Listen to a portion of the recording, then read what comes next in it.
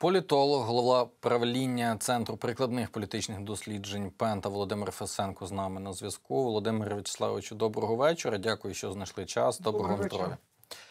Отож, Саакашвілі в команді Зеленського все ж таки призначили, хотіли на іншу трішки посаду, вдалося в команду президента. Е, На вашу думку, е, от почнемо з простого: це помилка чи правильне рішення президента України? А це лише, лише життя покаже. Е, Припущення можуть бути і є е, абсолютно протилежні. Е, Фанати Саакашвілі, а такі у нас є. Вони вважають, що е, Саакашвілі – це остання і майже єдина надія Зеленського на те, щоб відбулися якісь позитивні зрушення. Навпаки, частина прихильників, навіть прихильників Зеленського, зокрема і фракції Слуга народу, побоюються, що можуть повторитися події, які були е, ще за часів Порошенка, події 16-17 років, коли Саакашвілі війшов в конфлікт е, спочатку з керівництвом уряду, а потім із тодішнім президентом Порошенка. Е, Так що е, ризики є. Але Зеленський він е, схильний ризикувати, тому пішов на цей ризик. Ну, але власне ж розумів цей ризик. Ну дійсно, я з вами погоджуся. Да, Хоч і- абсолютно. Я згоден. Да. Я наскільки я знаю, його попереджали різні люди е, про ці ризики, які пов'язані потенційно з Саакашвілі, але думаю, що знаєте. е, Зараз е, Зеленський і в роботі уряду, і в мінських переговорах хоче нового імпульсу, потужного імпульсу. І Саакашвілі йому потрібний як такий каталізатор, енерджайзер. От він хоче, знаєте, таким чином прискорити, е, активізувати роботу уряду, хоча б е, ззовні через цю е, раду реформи, через цей виконком реформ. Але власне питання е, остаточної цілі присутності Саакашвілі в команді. Наші з вами колеги кажуть, що тут не є питання реформування економіки, тому що є питання до успіхів Саакашвілі і, по прикладу Одеси. Але потрібен хороший медійний захисник для команди Зеленського, людина, яка буде брати участь в ВТРах і розповідати про е, важливі рішення, які ухвалює уряд. Ви е, до яких більше прихильний сторін поглядів на цю? Я, я не погоджуюсь з цією точкою зору. Ну є різні версії. кажуть, що це противага Авакову, е, що е, це е, такий, знаєте, камуфляж для заходу. е, Ну, наприклад, там е, е, деяких кого називають у нас, дехто називає сарасятами, їх прибирають. Е, Хоча, на, на мій погляд, це спрощення. Насправді ситуація не так виглядає, а ну інакше, неоднозначно.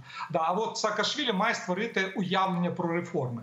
Ні, я не думаю, що е, е, е, от е, цей медійний чинок є головним. У, у Зеленського є кому ходити на ефіри. Дійсно, е, від уряду виступати. Да, тут Саакашвілі міг би посилити значно позицію уряду, але він зараз буде не е, позицію уряду відстоювати, а цього виконкому реформ.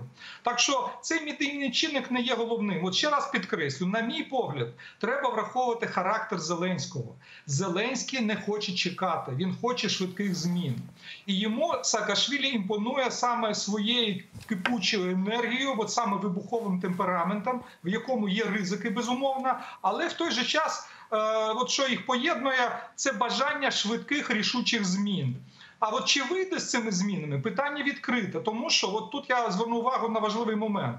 На наш досвід е, неоднозначний, коли у нас реформи готуються в одному місці, ну от в Раді реформ, а виконуються в іншому місці, в уряді, завжди виникає розрив, протиріччя, і ефективність реалізації реформ е, стає значно меншою. Оце є серйозна проблема, і вона і зараз виникне з діяльністю Саакашвілі.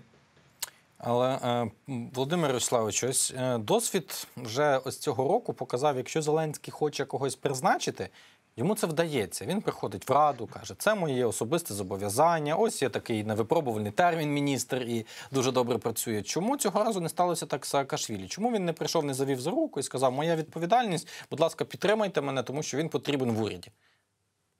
Е, Ну, я думаю, що е, після е, певної оцінки ситуації стану фракції і можливе голосування в уряді вирішили не риз- не ризикувати. Голосування в раді вирішили не ризикувати. Проте, я думаю, тема не закрита. Можуть бути різні сценарії подальшої траєкторії Саакашвілі. От один з сценаріїв, який я не виключаю, ну про конфліктний ми вже сказали. А може бути такий сценарій. Саакашвілі запропонує цілу низку проєктів реформаторських, але уряд або не захоче, або не зможе виконати навіть частину цих проєктів. І що далі? Якщо, наприклад, восени виникне така ситуація, що Зеленський буде зберігати довіру до Саакашвілі і до його пропозицій, а от довіра до уряду і прем'єра буде значно меншою. Тоді я не виключаю, що Зеленський може знов повернутися до ідеї призначення Саакашвілі в уряд. І Хто знає, може навіть на посаду прем'єра. Я і такий сценарій не виключаю. Але все рівно питання, як знайти голоси Саакашвілі, за Саакашвілі, буде дуже і дуже непростою. А в чому проблема Саакашвілі по голосах? Ну, все ж таки, слуги підтримують Зеленського його рішення. І чому саме в слугах почався розкол по цій історії? Бояться? Бояться, що Михайло Ніколозович може піти і проти цієї команди? Ну, вони бояться конфлікту. Ну, вірніше, там є різні мотивації. Є люди Коломойського, ну і декілька людей Авакова, які принципово проти Саакашвілі. Ну, такий досвід у них. Проте, от чимало людей, наскільки я знаю, декілька десятків депутатів, абсолютно відданих Зеленському, абсолютно йому лояльних, які завжди підтримують його рішення, голосують за них в парламенті. Але зараз от вони якраз побоювалися, що е, вибуховий темперамент Саакашвілі врешті-решт спрацює. І проти самого президента, і, врешті-решт, може створити політичну кризу. А це буде вже проблемою для партії Слуга народу.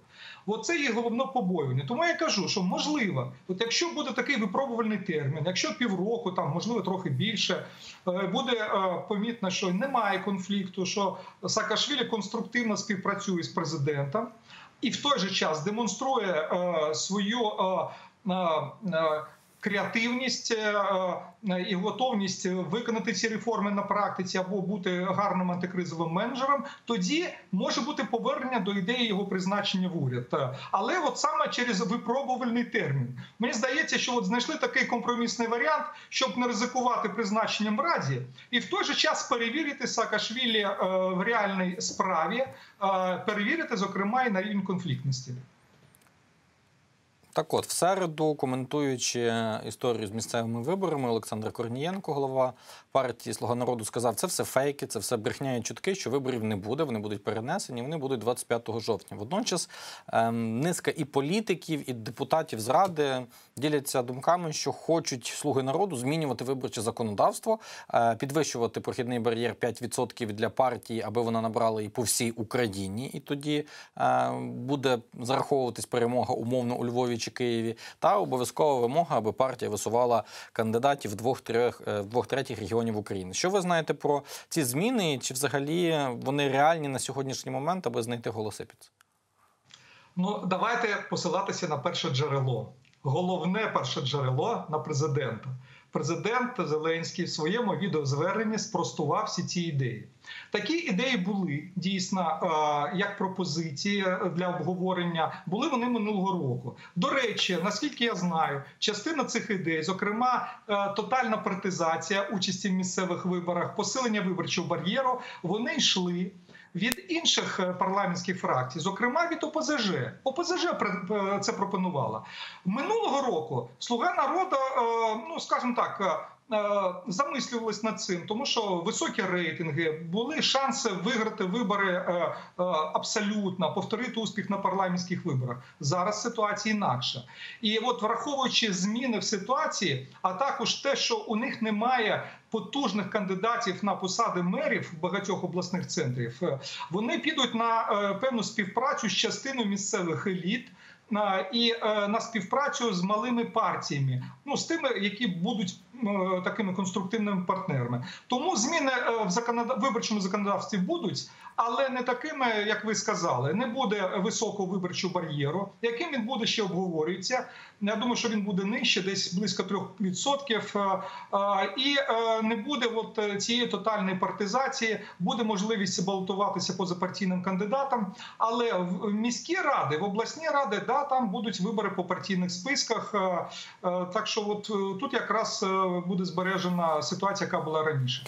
Власне, інформація про зниження бар'єру. Я ну, насправді її не чув раніше. На сьогоднішній момент дійсно обговорюють таку можливість. Це ну, дозволить насправді великій кількості місцевим партіям, е, як, от, наприклад, партії мерів, які нам сьогодні анонсують вже два тижні, обговорюємо в етерах, дійсно балотуватися і вести нові проекти до міських рад. Ну, е, якраз от е, е, повернення до тієї виборчої системи, яка була і раніше, зокрема на виборах 2015 року, можливість балотуватися з відносно невеликим виборчим бар'єром, дає можливість брати участь не партії мерів, а партія мерів. Так, Я партіям. Я власне це маю на увазі, що кожен мер створить свою структуру. е, Якщо був високий виборчий бар'єр і е, правило, що от треба е, подолати цей виборчий бар'єр в двох третинах регіонів і так далі, от тоді да, був би стимул створювати якусь єдину партію мерів, але вона була в опозиції до президента. А так буде своя партія у Труханова, вона вже є, у Кернеса. У е, е, Садового вона є, у Клічка вона є. Тому єдиної партії мерів не буде. А, І е, в принципі, от якраз співпраця з окремими місцевими елітами, я думаю, що буде е, складовою стратегії Слуги народу на цих виборах. Е, І їм не вигідно зараз е, е, робити от високий бар'єр, тому що тоді перемогу, наприклад, в російськомовних регіонах, ну не в- усіх, а от на сході, може отримати ОПЗЖ. А у Львівській області, наприклад, Європейська солідарність. А якщо буде плюралізм в місцевих радах, тоді буде шанси для слуги народу створювати лояльну для себе більшість в багатьох місцевих радах. Дякую вам за ці думки. Було цікаво почути про місцеві вибори. Насправді, що нас чекає. Володимир Фесенко, політолог.